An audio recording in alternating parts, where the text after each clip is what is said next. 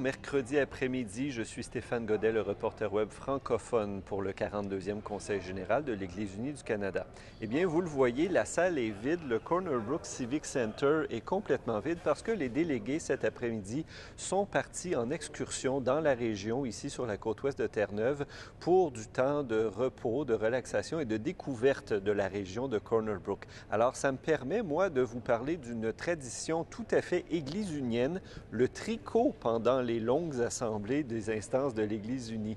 Vous le voyez peut-être sur les tables derrière moi, il y a de la laine sur les tables et j'ai ici de la laine aussi. Cette année, tout ce qui va être fait en tricot, ce sont des carrés comme ça et à la fin du Conseil général, les carrés seront réunis pour former des couvertures.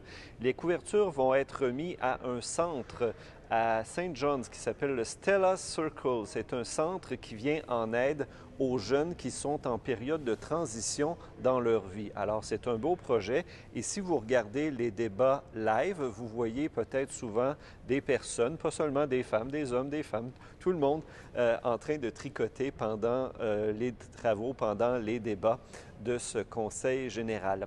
Ce matin, euh, ce n'était pas du plaisir toute la journée, il y avait quand même une demi-journée de travail. Ce matin, les délégués étaient ici pour continuer euh, de, de, formuler des propositions sur la révision globale à partir du travail que le comité de séance a fait.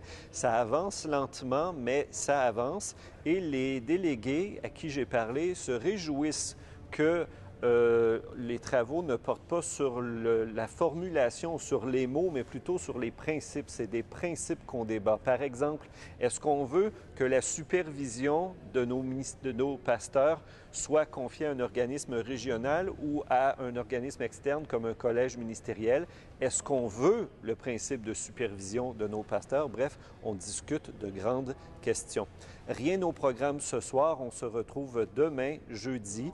Les travaux continuent sur le même sujet, mais aussi ça va être l'élection du modérateur ou de la modératrice demain qui, parmi les 12 personnes nommées, va être élu. Suspense, c'est à suivre demain. Vous pourrez regarder ça en direct sur gc42.ca live. Et pour les nouvelles, comme d'habitude, vous avez notre site francophone égliseunie.ca et Facebook, notre page MIF, l'Église unie. À demain. Au revoir.